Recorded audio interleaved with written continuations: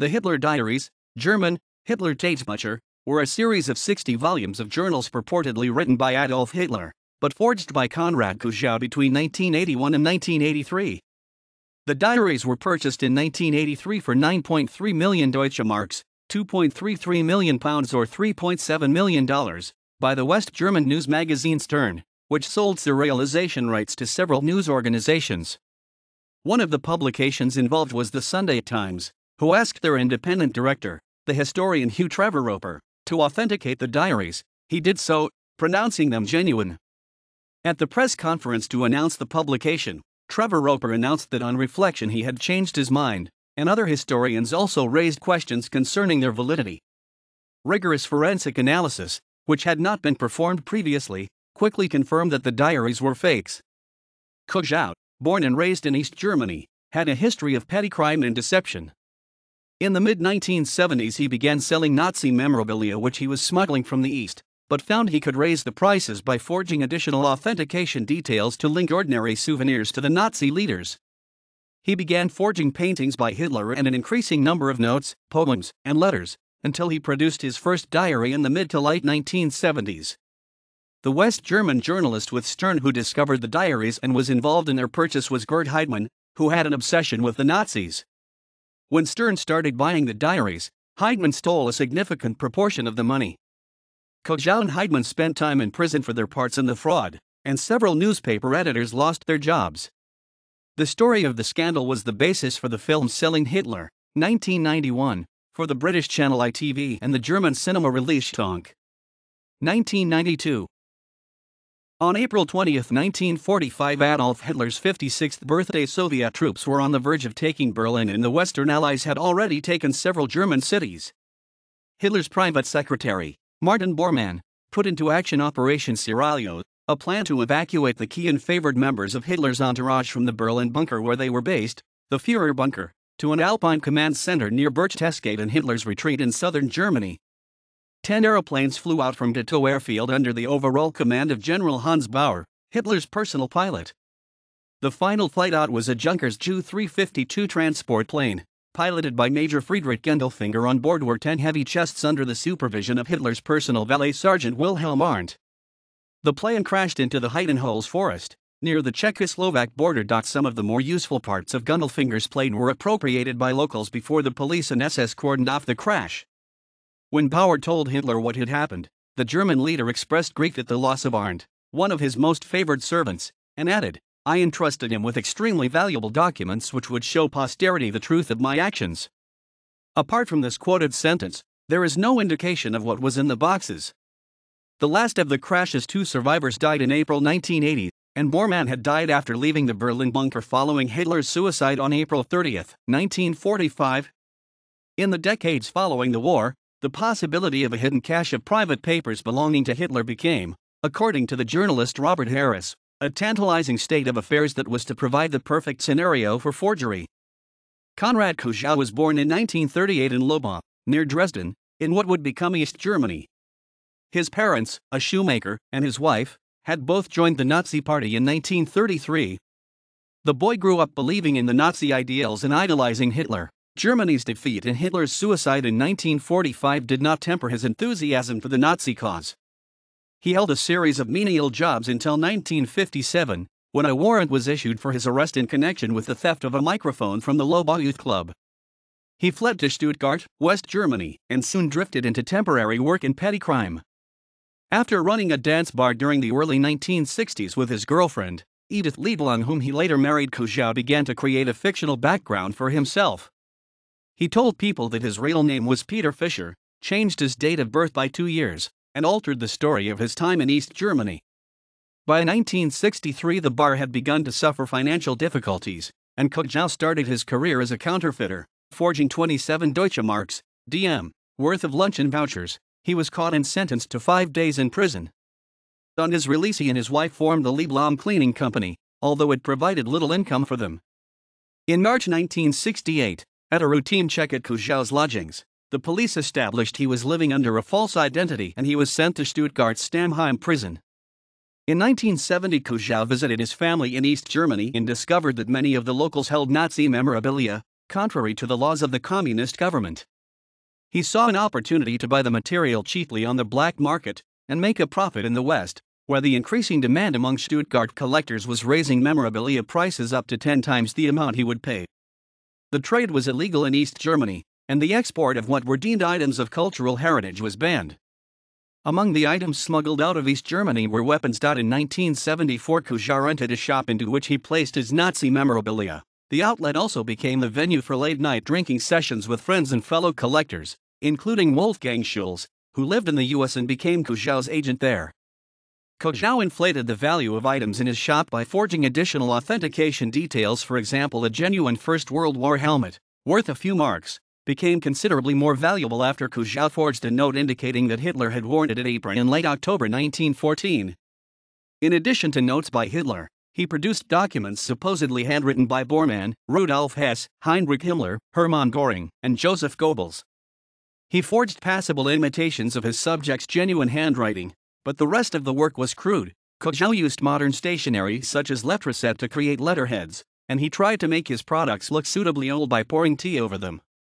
Mistakes in spelling or grammar were relatively common, particularly when he forged in English, a supposed copy of the 1938 Munich Agreement between Hitler and Neville Chamberlain read, in part. We regard the Ariman signet last night in the Anglo German naval agreement as symbolic of the desire of our two peoples never to go to war with one another again. In the mid to late 1970s, Kujau, an able amateur artist, turned to producing paintings which he claimed were by Hitler, who had been an amateur artist as a young man. Having found a market for his forged works, Kujau created Hitler paintings depicting subjects his buyers expressed interest in, such as cartoons, nudes, and men in action, all subjects that Hitler never painted, nor would want to paint, according to Charles Hamilton, a handwriting expert and author of books on forgery. These paintings were often accompanied by small notes, purportedly from Hitler. The paintings were profitable for Kujau. To explain his access to the memorabilia, he invented several sources in East Germany, including a former Nazi general, the bribable director of a museum, and his own brother, whom he reinvented as a general in the East German army. Having found success in passing off his forged notes as those of Hitler, Kujau grew more ambitious and copied, by hand, the text from both volumes of Mein Kampf even though the originals had been completed by typewriter. Kujau also produced an introduction to a third volume of the work. He sold these manuscripts to one of his regular customers, Fritz Stiefel, a collector of Nazi memorabilia who accepted them and many other Kujau products as genuine. Kujau also began forging a series of war poems by Hitler, which were so amateurish that Kujau later conceded that a 14 year old collector would have recognized it as a forgery. Gerd Heidemann was born in Hamburg in 1931. During the rise of Hitler, his parents remained apolitical, but Heidemann, like many other young boys, joined the Hitler Youth. After the war, he trained as an electrician and pursued an interest in photography. He began working in a photographic laboratory and became a freelance photographer for the Deutsche Presse Agentur and Keystone news agencies, as well as some local Hamburg papers. He had his first work published in Stern in 1951 and four years later joined the paper as a full time member of staff. From 1961, he covered wars and hostilities across Africa and the Middle East. He became obsessed with these conflicts and other stories on which he worked, such as the search for the identity of the German writer B. Traven. Although he was an excellent researcher, his colleagues called him der Spurhund, the bloodhound he would not know when to stop investigating which led to other writers having to finish off the stories from large quantities of notes. On behalf of Stern, in January 1973, Heidemann photographed the Carin II, a yacht that formerly belonged to Goring. The boat was in a poor state of repair and expensive to maintain, but Heidemann took a mortgage on his Hamburg flat and purchased it. While researching the history of the yacht, Heidemann interviewed Goring's daughter, Edda, after which the couple began an affair. Through this relationship and his ownership of the boat, he was introduced to a circle of former Nazis. He began to hold parties on the Carin II, with the former SS generals Karl Wolff and Wilhelm Mohnke as the guests of honor. Wolff and Mohnke were witnesses at Heidemann's wedding to his third wife in 1979. The couple went on honeymoon to South America accompanied by Wolff, where they met more ex Nazis, including Walter Rauff and Klaus Barbie, who were both wanted in the West for war crimes. The purchase of the yacht caused Heidemann financial problems and in 1976 he agreed terms with Gruner and Jahr, Stern's parent company, to produce a book based on the conversations he was having with the former soldiers and SS men. When the book went unwritten, the material provided by the former SS officers was not sufficiently interesting or verifiable for publication. Heidemann borrowed increasingly large sums from his employers to pay for the boat's upkeep. In June 1978, he advertised the boat for sale, asking 1.1 million DMS. He received no offers. Mohnke recommended that Heidemann speak to Jacob Tiefenthaler, a Nazi memorabilia collector and a former member of the SS. Tiefenthaler was not in a position to buy the yacht, but was happy to act as an agent his endeavors did not produce a sale. Realizing Heidemann's financial circumstances, Tiefenthaler provided him with names of other collectors in the Stuttgart area. The journalist made a trip to the south of Germany and met Stiefel, who purchased some of Göring's effects. Stern, German Four Star, a German weekly news magazine published in Hamburg, was formed by the journalist and businessman Henri Nannen in 1948 to offer scandal, gossip, and human interest stories. It was, According to the German media experts Frank Esser and Uwe Hartung, known for its investigative journalism and was politically left of center. In 1981, Nannen resigned from his position of editor of the magazine and moved to take the role of publisher.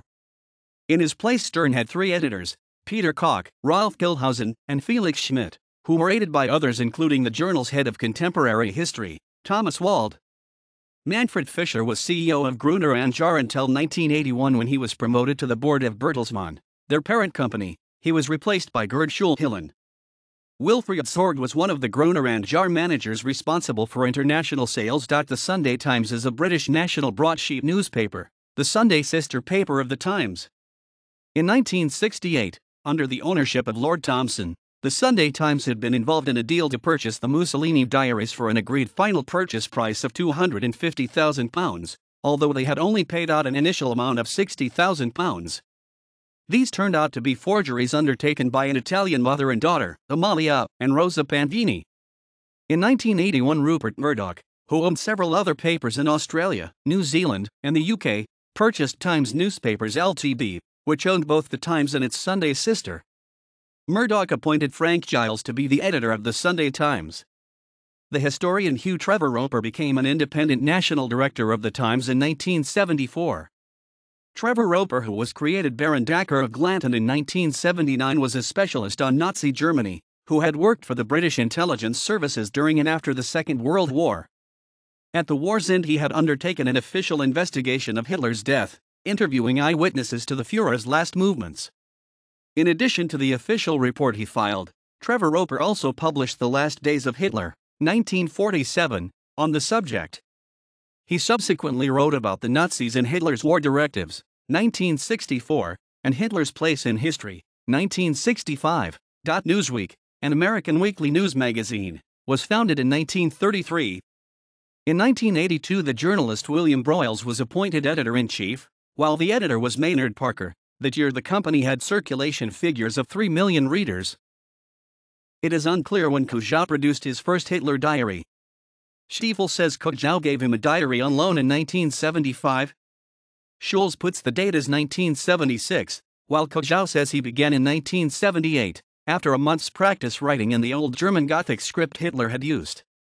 Kujau used one of a pile of notebooks he had bought cheaply in East Berlin, and attempted to put the letters AH in gold on the front purchasing plastic. Hong Kong made letters from a department store. He inadvertently used FH rather than AH. He took the black ribbon from a genuine SS document and attached it to the cover using a German army wax seal. For the ink, he bought two bottles of Pelikan ink, one black, one blue, and mixed them with water so it would flow more easily from the cheap modern pen he used. Finally, he sprinkled tea over the pages and bashed the diaries against his desk to give them an aged look. Kujau showed the first volume to Stiefel, who was impressed and thought it a genuine Hitler diary. Stiefel wanted to buy it, but when the forger refused, the pair agreed that the collector could have it on loan. In June 1979, Stiefel asked a former Nazi Party archivist, August Priesack, to verify the authenticity of the diary, which he subsequently did. Priesack showed the diary to Eberhard Jäckel of the University of Stuttgart, who also thought the diary to be genuine and wanted to edit it for publication. News of the diary's existence soon began to filter through to collectors of Hitler memorabilia. At the end of 1979, Tiefenthaler contacted Heidemann to say that Stiefel had shown him around his collection, which included a Hitler diary, the only one Kujau had forged to that point. According to Hamilton, the discovery inflamed Heidemann almost to madness. and he aggressively pressed for what would be a journalistic scoop. Stiefel showed Heidemann the diary in Stuttgart in January 1980, telling him it was from a plane crash in East Germany, although he refused to tell the journalist the name of his source. The collector spoke to Kujau to see if he would meet Heidemann, but the forger repeatedly refused Heidemann's requests for nearly a year. Heidemann returned to the Stern offices and spoke to his editor, but both Koch and Nannen refused to discuss the potential story with him, telling him to work on other features. The only person who was interested was Wald, who worked with Heidemann to find the source of the diaries. Their searches for Kujau proved fruitless, so they looked into the crash. Heidemann, who had read Baur's autobiography, knew of Gundlfinger's flight, and made a connection between Operation Seraglio and the diary. In November 1980, the two journalists traveled to Dresden and located the graves of the flight's crew. In January 1981, Tiefenthaler gave Kujau's telephone number to Heidemann, telling the journalist to ask for Mr. Fischer, one of Kujau's aliases. During the subsequent phone call, Kujau told Heidemann that there were 27 volumes of Hitler's diaries, the original manuscript of the unpublished third volume of Mein Kampf, an opera by the young Hitler called Wieland der Schmied, Wieland the blacksmith, numerous letters and unpublished papers, and several of Hitler's paintings, most of which were still in East Germany. Heidemann offered 2 million DMS for the entire collection and guaranteed secrecy until everything had been brought over the border. Although the pair did not agree to a deal, they agreed to the foundations of a deal. According to Harris, Kujau's condition was that he would only deal directly with Heidemann something that suited the journalist as a way of keeping other members of Stern away from the story. Heidemann and Wald produced a prospectus for internal discussion, outlining what was available for purchase and the costs. The document, signed by Heidemann, finished with a veiled threat If our company thinks that the risk is too great, I suggest that I should seek out a publishing company in the United States which could put up the money and ensure that we get the German publication rights. The pair did not show the prospectus to anyone at Stern, but instead presented it to Gruner and Jahr's deputy managing director, Dr. Jan Hensmann, and Manfred Fischer. They also requested a 200,000 mark deposit from the publisher to secure the rights with Kujau. After a meeting that lasted a little over two hours, and with no recourse to an expert or historian, the deposit was authorized. As soon as the meeting ended, at about 7 p.m., Heidemann traveled to Stuttgart with the deposit money to meet Kujau. In April 1982, Alden Heidemann contacted Joseph Henke and Klaus Oldenhage of the Bundesarchiv, German Federal Archives, and Max Frei-Sulzer, the former head of the forensic department of the Zurich police, for assistance in authenticating the diaries. They did not specifically mention the diaries, but referred generally to new material. They also did not give the forensic specialists an entire diary, but removed one page only. For comparison purposes, they also provided the experts with other samples of Hitler's writing, a handwritten draft for a telegram. This was from Heidemann's own collection and had also been forged by Kujau. Within days, Wald provided further documents for comparison all Kujau forgeries. Wald then flew to the US and commissioned Ordway Hilton, another forensic expert. None of those involved were experts in examining Nazi documents, and Hilton could not read German. Stern's management were too bound up in a secretive approach to be open about their source, or to provide the experts with a complete diary which would have led to a more thorough examination of whiter material. From the samples provided, the experts concluded that the handwriting was genuine. Hilton subsequently reported that there was just no question that both documents he had were written by the same person, whom he assumed to be Hitler. The purchase of the diaries continued, and by June 1982, Gruner and Jahr possessed 35 volumes. In early 1983, the company took the decision to work towards a publication date for the diaries. To ensure wide readership and to maximize their returns, Stern issued a prospectus to potentially interested parties Newsweek, Time, Paris Match, and a syndicate of papers owned by Murdoch. Stern rented a large vault in a Swiss bank. They filled the space with Nazi memorabilia and displayed various letters and manuscripts. The first historian to examine the diaries was Hugh Trevor Roper, who was cautious, but impressed with the volume of documentation in front of him. As the background to the acquisition was explained to him, he became less doubtful. He was falsely informed that the paper had been chemically tested and been shown to be pre war, and he was told that Stern knew the identity of the Wehrmacht officer who had rescued the documents from the plane and had stored them ever since. By the end of the meeting, he was convinced that the diaries were genuine, and later said, Who, I asked myself, would forge 60 volumes when six would have served his purpose? In an article in the Times on April 23, 1983, he wrote, I am now satisfied that the documents are authentic. that the history of their wanderings since 1945 is true, and that the standard accounts of Hitler's writing habits, of his personality, and even, perhaps, of some public events may, in consequence, have to be revised. The day after Trevor Roper gave his opinion of authenticity, Rupert Murdoch and his negotiation team arrived in Zurich. A deal was provisionally agreed for $2.5 million for the U.S. serialization rights, with an additional $750,000 for British and Commonwealth rights. While the discussions between Murdoch and Sorg were taking place, the diaries were examined by Broyle and his Newsweek team. After lengthy negotiation, Broyle was informed that the minimum price Stern would consider was $3 million. The Americans returned home, informing Hensmann that they would contact him by phone in two days. When Broyle contacted the Germans, he offered the amount, subject to authentication by their chosen expert, Gerhard Weinberg. In 1952, Weinberg, a cautious and careful historian, had written the guide to captured German documents for use by the U.S. military. The work is described by Hamilton as definitive in its scope of the subject. Weinberg traveled to Zurich and, like Trevor Roper, was impressed and reassured by the range of items on show. He was also partly persuaded by Trevor Roper's endorsement of the diary's authenticity. Weinberg commented that the notion of anyone forging hundreds, even thousands of pages of handwriting was hard to credit. Newsweek verbally accepted Hensmann's offer and he in turn informed Murdoch, giving him the option to raise his bid. Murdoch was furious, having considered the handshake agreement in Zurich final. On April 15, 1983, Murdoch, with Mark Edmiston, the president of Newsweek, met Schulte-Hillen, whom, unexpectedly and without explanation, went back on all the previous verbal and therefore, to his mind, non binding agreements and told them the price was now $4.25 million. Murdoch and Edmiston refused to accede to the new price and both left.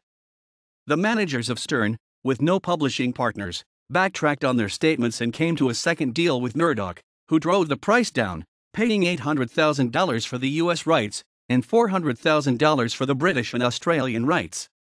Further deals were done in France with Paris Match for $400,000, in Spain with Grupo Zeta for $150,000, in the Netherlands for $125,000, in Norway for $50,000, and in Italy with Panorama for $50,000. Newsweek did not enter into a deal and instead based their subsequent stories on the copies of the diaries they had seen during the negotiation period. On April 22, 1983, a press release from Stern announced the existence of the diaries and their forthcoming publication. A press conference was announced for April 25. On hearing the news from Stern, Jäckel stated that he was extremely skeptical about the diaries, while his fellow historian, Karl Dietrich Bracher of the University of Bonn also thought their legitimacy unlikely. Irving was receiving calls from international news companies the BBC, The Observer, Newsweek, Bildzeitung, and he was informing them all that the diaries were fakes. The German Chancellor, Helmut Kohl, also said that he could not believe the diaries were genuine. The following day, The Times published the news that their Sunday sister paper had the serialization rights for the UK, the edition also carried an extensive piece by Trevor Roper with his opinion on the authenticity and importance of the discovery. By this stage, the historian had growing doubts over the diaries, which he'd passed on to the editor of the Times, Charles Douglas Home. The Times editor presumed that Trevor Roper would also contact Giles at the Sunday Times, while Trevor Roper thought that Douglas Home would do so, neither did. The Sunday paper thus remained oblivious to the growing concerns that the diaries might not be genuine. On the evening of April 23, the presses began rolling for the following day's edition of the Sunday Times. After an evening meeting of the editorial staff, Giles phoned Trevor Roper to ask him to write a piece rebutting the criticism of the diaries. He found that the historian had made a 180 degree turn regarding the diaries' authenticity and was now far from sure that they were real. The paper's deputy editor, Brian MacArthur, rang Murdoch to see if they should stop the print run and rewrite the affected pages. Murdoch's reply was fuck Dacre. Published on the afternoon of the April 24th, in Hamburg for the press conference the following day, Trevor Roper asked Heidemann for the name of his source. The journalist refused, and gave a different story of how the diaries had been acquired. Trevor Roper was suspicious and questioned the reporter closely for over an hour. Heidemann accused the historian of acting exactly like an officer of the British Army in 1945. At a subsequent dinner, the historian was evasive when asked by Stern executives what he was going to say at the announcement the following day. At the press conference, both Trevor Roper and Weinberg expressed their doubts at the authenticity and stated that German experts needed to examine the diaries to confirm whether the works were genuine. Trevor Roper went on to say that his doubts sprung from the lack of proof that these books were the same ones as had been on the crashed plane in 1945. He finished his statement by saying that I regret that the normal method of historical verification has been sacrificed to the perhaps necessary requirements of a journalistic scoop. The leading article in The Guardian described his public reversal as showing moral courage. Irving, who had been described in the introductory statement by Koch as a historian with no reputation to lose, stood at the microphone for questions and asked how Hitler could have written his diary in the days following the July 20th plot, when his arm had been damaged. He denounced the diaries as forgeries and held aloft the photocopied pages he had been given from Priesack. He asked if the ink in the diaries had been tested, but there was no response from the managers of Stern. Photographers and film crews jostled to get a better picture of Irving, and some punches were thrown by journalists while security guards moved in and forcibly removed Irving from the room, while he shouted ink. Ink. With grave doubts now expressed about the authenticity of the diaries, Stern faced the possibility of legal action for disseminating Nazi propaganda. To ensure a definitive judgment on the diaries, Hagen, one of the company's lawyers, passed three complete diaries to Henke at the Bundesarchiv for a more complete forensic examination. While the debate on the diary's authenticity continued, Stern published its special edition on April 28, which provided Hitler's purported views on the flight of Hess to England, Kristallnacht, and the Holocaust. The following day, Heidemann again met with Kujau, and bought the last four diaries from him. On the following Sunday, 1 May 1983, the Sunday Times published further stories providing the background to the diaries, linking them more closely to the plane crash in 1945, and providing a profile of Heidemann. That date, when the Daily Express rang Irving for a further comment on the diaries, he informed them that he now believed the diaries to be genuine. The Times ran the story of Irving's U turn the following day. Irving explained that Stern had shown him a diary from April 1945 in which the writing sloped downwards from left to right, and the script of which got smaller along the line. At a subsequent press conference, Irving explained that he had been examining the diaries of Dr. Theodor Morell, Hitler's personal doctor, in which Morell diagnosed the Fuhrer as having Parkinson's disease, a symptom of which was to write in the way the text appeared in the diaries. Harris posits that further motives may also have played a part. The lack of reference to the Holocaust in the diaries may have been perceived by Irving as supporting evidence for his thesis, put forward in his book Hitler's War, that the Holocaust took place without Hitler's knowledge. The same day Hagen visited the Bundesarchiv and was told of their findings. Ultraviolet light had shown a fluorescent element to the paper, which should not have been present in an old document, and that the bindings of one of the diaries included polyester which had not been made before 1953, Research in the archives also showed a number of errors. The findings were partial only, and not conclusive, more volumes were provided to aid the analysis. When Hagen reported back to the Stern management, an emergency meeting was called and Schulte-Hillen demanded the identity of Heidemann's source. The journalist relented and provided the provenance of the diaries as Kujau had given it to him. Harris describes how a bunker mentality descended on the Stern management as, instead of accepting the truth of the Bundesarchiv's findings, they searched for alternative explanations as to how post war whitening agents could have been used in the wartime paper.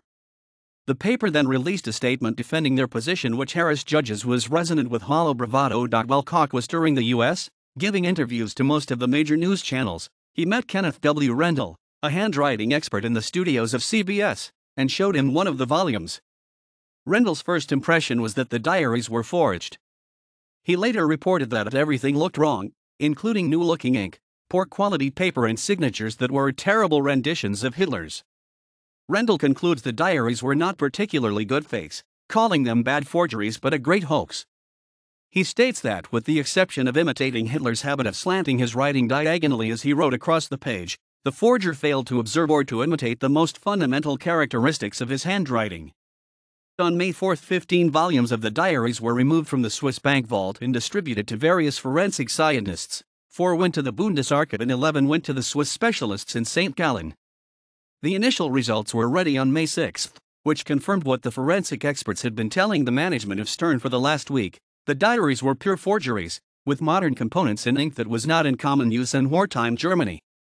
Measurements had been taken of the evaporation of chloride in the ink, which showed the diaries had been written within the previous two years. There were also factual errors, including some from Domarus's Hitler. Read in UND Proclamation in 1932 45 that Kujau had copied. Before passing the news to Stern, the Bundesarchiv had already informed the government, saying it was a ministerial matter. The managers at Stern tried to release the first press statement that acknowledged the forensic findings and stated that the diaries were forged, but the official government announcement was released five minutes before Stern's. Once the government announcement appeared on television, Kujau took his wife and mistress to Austria. He introduced the latter to Edith as his cleaner. After he saw a news report a few days later, naming him as the forger, and hearing that Stern had paid 9 million DMS, he first phoned his lawyer and then the Hamburg state prosecutor. The forger agreed to hand himself and at the border between Austria and West Germany the following day. When police raided his house, they found several notebooks identical to those used in the fraud. Kujau continued to use a variation of the story he had told Heidemann that of obtaining the diaries from the East, but he was bitter that the journalist was still at liberty and had withheld so much of Stern's money from him. After 13 days, on May 26, he wrote a full confession, stating that Heidemann knew all along that the diaries were forgeries. Heidemann was arrested that evening. Following a police investigation that lasted over a year, on August 21, 1984, the trial against Heidemann and Kujau opened in Hamburg. Both men were charged with defrauding Stern of 9.3 million DMS. Despite the seriousness of the charges facing the two men, Hamilton considers that it also appeared clear that the trial was going to be a farce, a real slapstick affair that would enrage the judge and amuse the entire world. The proceedings lasted until July 1985, when both men were sent to prison four years and eight months for Heidemann, four years and six months for Kujau. In September, one of the supporting magistrates overseeing the case was replaced after he fell asleep. Three days later, the court were amused to see pictures of Idi Amin's underpants, which Heidemann had framed on his wall. At times, the case denigrated into a slanging match between Kujau and Heidemann. In his summing up, Judge Hans Ulrich Schroeder said that the negligence of Stern has persuaded me to soften the sentences against the two main co conspirators. Heidemann was found guilty of stealing 1.7 million DMS from Stern, Kujau guilty of receiving 1.5 million DMS for his role in the forgeries. Despite the lengthy investigation and trial, at least 5 million DMS remained unaccounted for. When Kujau was released from prison in 1987, he was suffering from throat cancer, he opened a gallery in Stuttgart and sold forgeries of Salvador Dali and Joan Miró, all signed with his own name. Although he prospered, Kujau was later arrested for forging driving licenses. He was fined the equivalent of 2,000 pounds. He died of cancer in Stuttgart in September 2000. Heidemann was also released from prison in 1987. Five years later, it was reported in the German newspaper Der Spiegel that in the 1950s he had been recruited by the Stasi, the East German secret police, to monitor the arrival of American nuclear weapons into West Germany. In 2008, he had debts exceeding 700,000 euros and was living on Social Security. His situation had not changed by 2013, and he remained bitter about his treatment. Point two of Stern's editors, Koch and Schmidt, lost their jobs because of the scandal. Both complained strongly when told that their resignations were expected, pointing out that they had both wanted to sack Heidemann in 1981 a settlement of 3.5 million DMS, C$1 million, was provided to each of them as part of the severance package. The staff at the magazine were angry at the approach taken by their managers and held sit ins to protest at the management's bypassing traditional editorial channels and safeguards. The scandal caused a major crisis for Stern and, according to Esser and Hartung, the magazine, once known for its investigative reporting, became a prime example of sensation seeking checkbook journalism. Stern's credibility was severely damaged and it took the magazine 10 years to regain its pre scandal status and reputation. According to the German Historical Institute, the scandal was also instrumental in discrediting the tendency toward an unprejudiced and euphemistic assessment of the Third Reich in West German popular culture. At the Sunday Times, Murdoch moved Giles to the new position of editor emeritus. When Giles asked what the title meant, Murdoch informed him that it's Latin, Frank, the E means you're out and the meritus means you deserved it. Murdoch later said that circulation went up and it stayed up. We didn't lose money or anything like that, referring to the 20,000 new readers the paper retained after the scandal broke, and the fact that Stern returned all the money paid to it by the Sunday Times. In April 2012, during the Leveson inquiry, he acknowledged his role in publishing the diaries and took the blame for making the decision, saying it was a massive mistake I made and I will have to live with it for the rest of my life. Trevor Roper died in 2003, Despite a long and respected career as a historian, according to Richard Davenport Hines, his biographer, Trevor Roper's role in the scandal left his reputation permanently besmirched. In January 1984, Broyles resigned as editor of Newsweek to pursue new entrepreneurial ventures. In 1986, the journalist Robert Harris published an account of the hoax, Selling Hitler, the story of the Hitler Diaries. Five years later, Selling Hitler, a five episode drama documentary series based on Harris's book, was broadcast on the British ITV channel. It starred Jonathan Pryce as Heidemann, Alexei Sayle as Kujau, Tom Baker as Fisher, Alan Bennett as Trevor Roper, Roger Lloyd Pack as Irving, Richard Wilson as Nannen, and Barry Humphries as Murdoch. Later that year, Charles Hamilton published the second book to investigate the forgeries, The Hitler Diaries. In 1992, the story of the diaries was adapted to the big screen by Helmut Dietl in his satirical German language film Schtonk. The film, which starred Götz Georges Heidemann and Uwe Ochsenknecht as won three Deutscher Filmpreis awards and nominations for a Golden Globe and an Academy Award. In 2004, one of the diaries was sold at auction for 6,400 euros to an unknown buyer. The remainder were handed over by Stern to the Bundesarchiv in 2013, not as a memento of the Nazi past, but as an example of news media history. One of the Sunday Times journalists involved in the story, Brian MacArthur, later explained why so many experienced journalists and businessmen were so gullible about the authenticity of the diaries. The discovery of the Hitler diaries offered so tempting a scoop that we all wanted to believe they were genuine. Once hoist with a deal, moreover, we had to go on believing in their authenticity until they were convincingly demonstrated as forgeries. The few of us who were in on the secret fed in the adrenaline, we were going to write the most stunning scoop of our careers.